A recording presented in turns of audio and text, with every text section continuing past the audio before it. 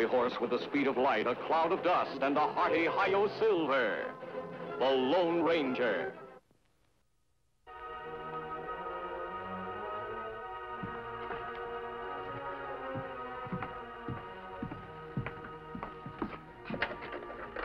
All right, Charlie. You can go home now. Thanks. Don't thank me. Thank your mother. She put up bail. Wait a minute, son. I want to talk to you. Yeah? What's happened to you, Charlie? A few months ago, you were head of your class in school. Well liked, respected. A boy everybody was proud of. And now look at you. Maybe I've learned a few things. You've forgotten a few things, too, son. What about your mother? You were just a homeless Indian kid when Mrs. Judd took you in.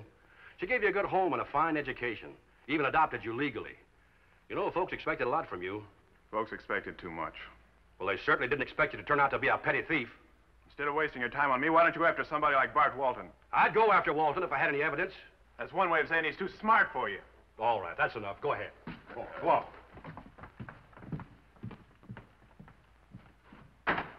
Charlie. Mom. Charlie, why did you do it? Please, Ma, I don't want to talk about it. Well, I want to talk about it. Son, if you needed money, why didn't you tell me? Not here, Ma. Wait till we get home. All right, son. He's free to go now, isn't he, Jim? Yes, Mary, I hope you can talk some sense into him. Don't worry about us. Good night, Jim, and thanks.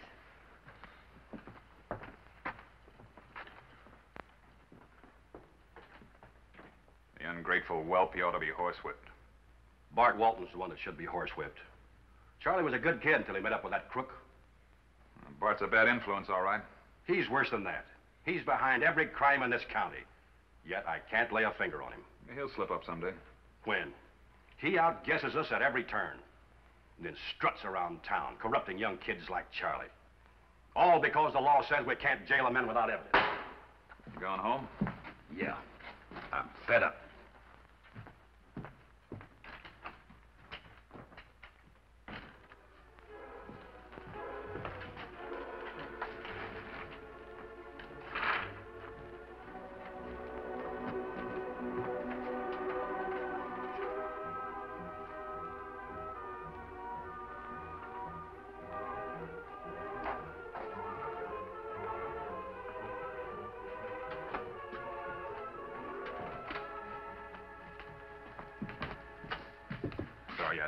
Had to wait, Bart. What kept you so long? Now, the Judd kid got into trouble again. Now, these amateurs never learn.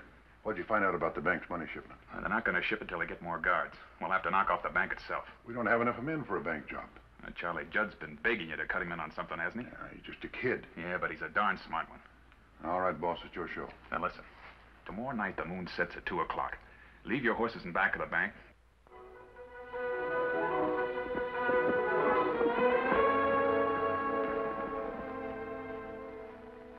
Me hear bad news, Kemo Sabe. Bad news? Ah, me hear talk about Indian boy Charlie Judd. That's an odd name for an Indian. A white lady named Mrs. Judd bring him up. Make him her son. She adopted him. Ah, her send boy to school. Him learn much. Indian people proud. Think someday maybe him speak in a white man's council. An educated man who understands both white men and Indians could do much to help the West. Mm, But him not help anybody. Him no good. What do you mean? Men in town say him lie, steal, him go round with crooks. If that's true, Tonto, he'd stir up resentment against your people, discourage further efforts to educate Indian children. Where does he live? Box Creek. We go there? Yes, we must try to straighten Charlie out.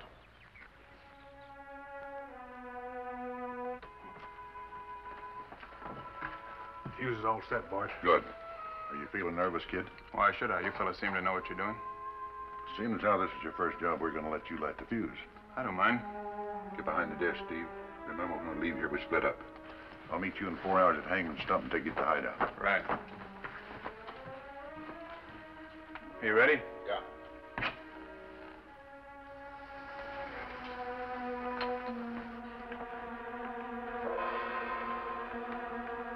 Get down before you get your head blown off. I want you to see that I'm not afraid. Get down, you idiot. It'll blow you to kingdom come.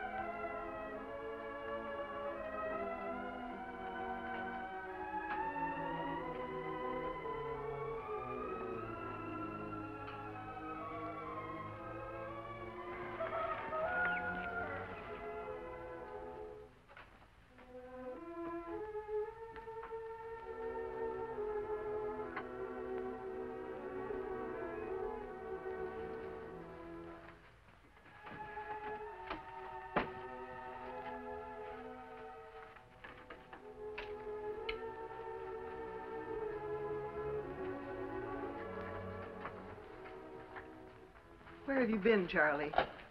I, uh, I, I had some business to attend to. I want the truth, Charlie. What have you been up to? Nothing, Ma. Everything's all right. What's in that blanket? Some of my things. Your things? Yes, Ma, I have to go away for a while. What have you done? Nothing I'm ashamed of. You're joining up with Bart Walton, aren't you? Leave me alone, Ma. I know what I'm doing. But Walton's a crook. Charlie, I've never bothered you before or interfered. But please, please don't do this.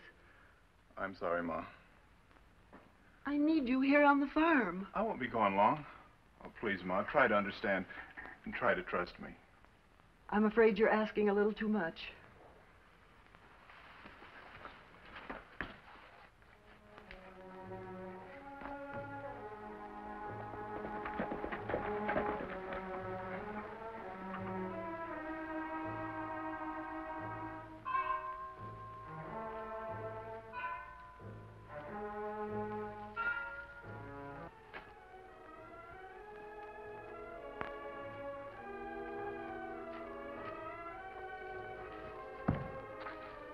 Hard to say this, son, but I must have failed in some way or you wouldn't be doing this.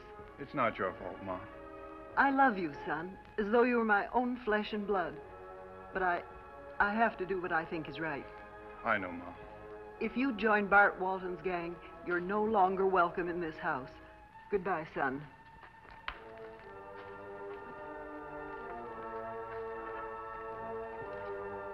Walton's a crook the law's been trying to trap for a long time.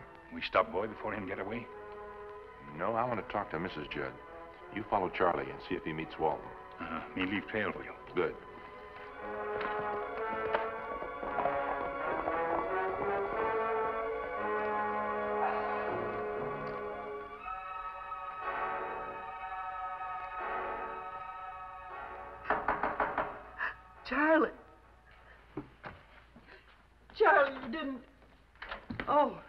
Be alarmed, Mrs. Judd. if you're one of Bart Walton's men, Charlie's already gone. I'm no friend of Walton's. I'd like to help you. I don't need help from your kind. I'm no outlaw, Mrs. Judd, and I hope to prevent Charlie from becoming one. Who are you and why are you interested in my boy? The education and opportunities that you gave Charlie have made him a symbol for the future of his race. If he becomes a criminal, he'll discredit his people and provoke racial intolerance. You're too late. Charlie's already gone. I know. Did he say where he was going? No, How long has he known Bart Walton? I'm not sure. The boy began changing about a month ago. In just what way did he change? He became moody. He started talking about the number of crimes committed and the few criminals who were caught. He began staying out late. That's when I discovered he was meeting Bart Walton and other no accounts. Two nights ago, he was arrested trying to rob a store. It's a tragic and familiar story, Mrs. Judd. But he was a good boy. He changed so quickly I didn't know what to do. I couldn't. He's coming back. It's Joe Blake, the deputy sheriff. The rest of my life, every time somebody rides in, I'll be hoping it's Charlie. I'd rather not answer any questions about my mask. May I step into the next room?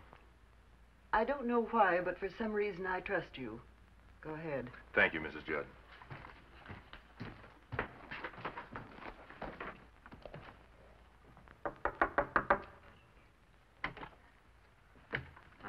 Howdy, Mrs. Judd. Charlie around? No, he's left town. Do you know where he went? No. Is anything wrong? The three men robbed the bank early this morning. Oh, no. The sheriff and a posse are out looking for him now.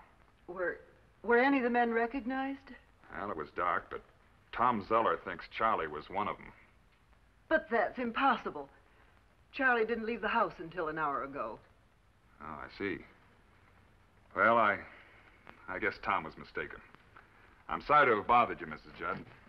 Not at all.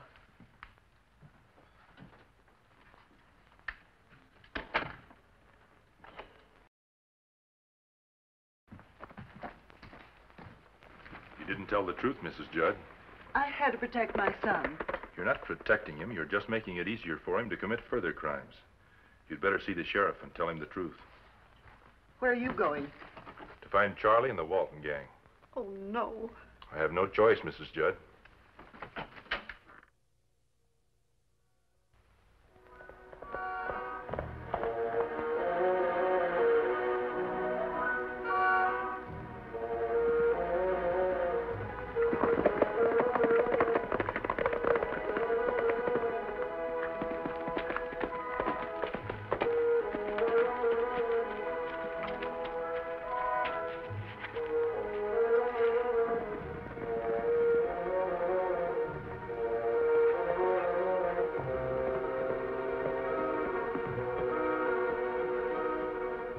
Put your hands up.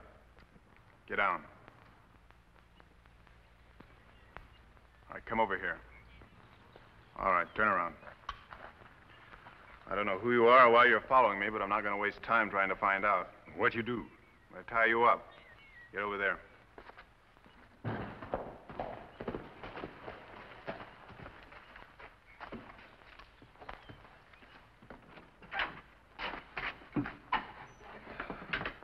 Almost didn't make it, Sheriff. An Indian on a paint was following me. Following you? You think Bart's suspicious? We'll have to take that chance. Who else is in the gang besides Bart? Uh, Steve Kramer is the only one I've seen. But I'm almost sure Bart's getting his tips from somebody in town. That would explain a lot. Yeah, I can't ask too many questions or they'll suspect me. Now that you're in the gang, how are we going to keep in touch with each other? Well, uh, there are hideouts near Hangman's Stump. I'll leave notes for you there. Anything else? Uh, you heard about last night's job. Yeah. Tom Zeller said he thought he recognized you, so I had to send Blake out and question your mother. Oh, no. Look, Sheriff, we've got to tell her we're breaking her heart. Charlie, when you came to me with this scheme, I told you I'd agreed to it only on one condition that it's kept an absolute secret. I haven't even told Blake.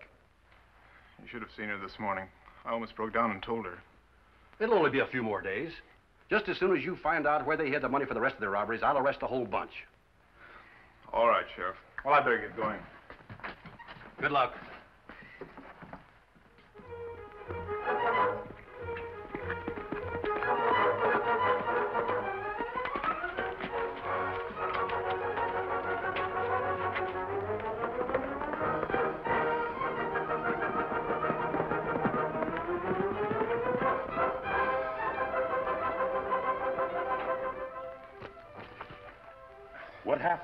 Me walk in a trap.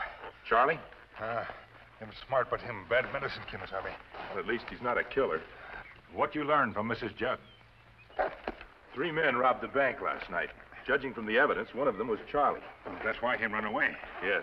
I'm counting on him to lead us to the rest of the gang. Come on. Where you been?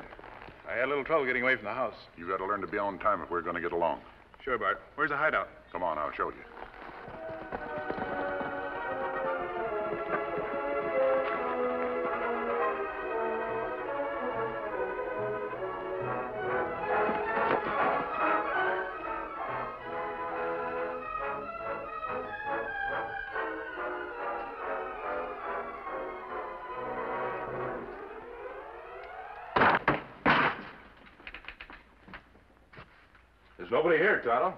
Kemo Sabe.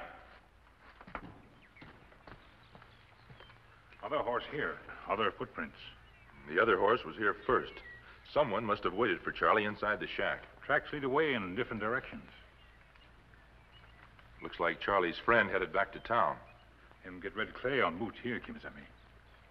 Charlie's seen you, Tonto, so I'll follow him from now on. You go after his friend with the clay on his boots. I want to know who he is. Did you get rid of the money all right, Bart? Yeah. You mean the money's not here? No. The boss takes care of it for us. You talk too much, Steve. Wait a minute. Aren't you bossing this outfit? I am as far as you're concerned. Let it go at that. Sorry. Deal me a hand. Sure. Play poker, kid? Afraid not. If you don't mind, I'd like to look around a bit. Help yourself. Be back in time to rustle up some grub. Right.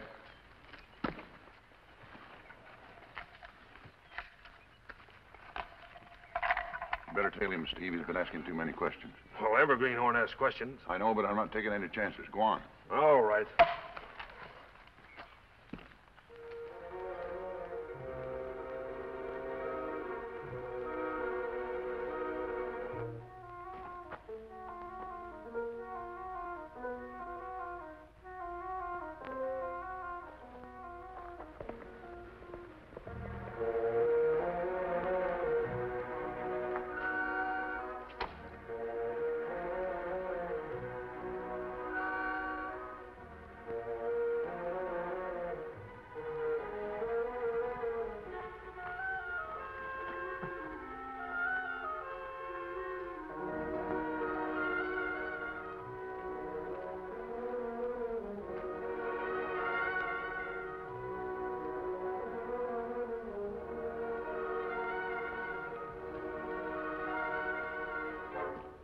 Mr. Reach. Give me that paper and don't try any tricks. Now turn around. Drop your guns.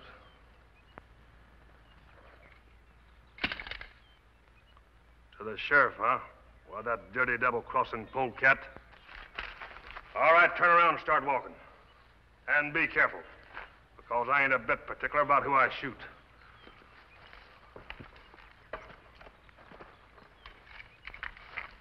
All right, move.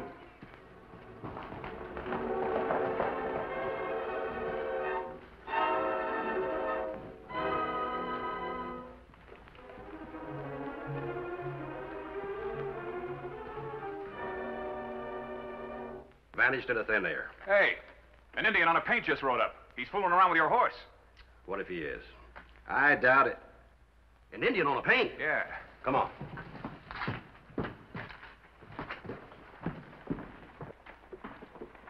All right, Injun. What are you doing? Me not do anything. Yeah, I know. Get in the office. You're going to answer a few questions. Come on. All right, Injun. Start talking. Did Walton pay you to keep an eye on Charlie Judd? Charlie? Come on, speak up. Me not know, Walton. You'll have to do better than that. You followed Charlie. You picked up my trail at the cabin and you followed me here, didn't you? Why you meet crook like Charlie? I'm just about fed up with you, Injun. I'll be back. I have to see Mrs. Deal about that fight at her place last night. All right, by the time you get back, I'll have this Injun talking.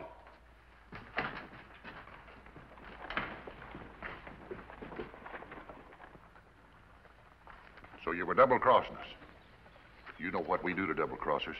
And they're pals. He's no pal of mine. I never saw him before today. You expect me to believe that? Since when do masked men work for the law? If you wasn't in on the scheme, how'd you know where to find this letter? I saw him hide it. Naturally, I was curious. Why were you hanging around? If you're Bart Walton, I was looking for you. Yeah? I hear you run a successful outfit. If you need another gun hand, I might be interested. All right, mister. I'll give you a chance to prove you're on the level. That's all I ask. If you're an outlaw, you ought to hate double-crossers as much as we do. Suppose you take care of this one. What do you mean? Shoot him. Shoot a defenseless man? It's the only way you'll convince me you two ain't in cahoots. All right. Give me one of my guns. Wait. Let me have it. You've proved yourself. I'm going to only let you have one bullet. One's enough. One ain't going to do you much good against the two of us. Isa Doret. Isa Sakwadase. Neti. What are you trying to pull? I only told him to prepare to die. Wasate. The boss, Bart. Yeah. Joe Blake.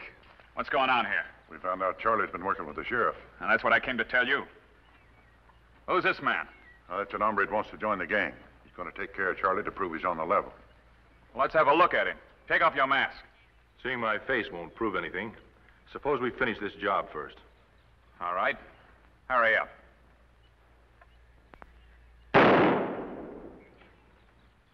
Nice shooting, mister. I'd better shoot him again to make sure. Good idea. Well, there was only one bullet in this gun. If you don't mind, Bart. Sure.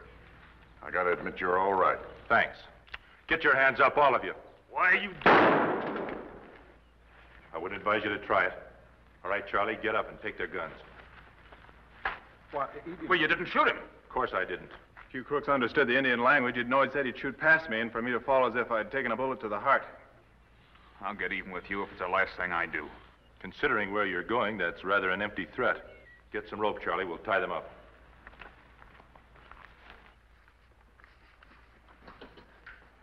Well, there it is. Every cent they ever took, right here in the strong box that we found over at Blake's house. You must have been afraid to spend it for fear you'd arouse suspicion.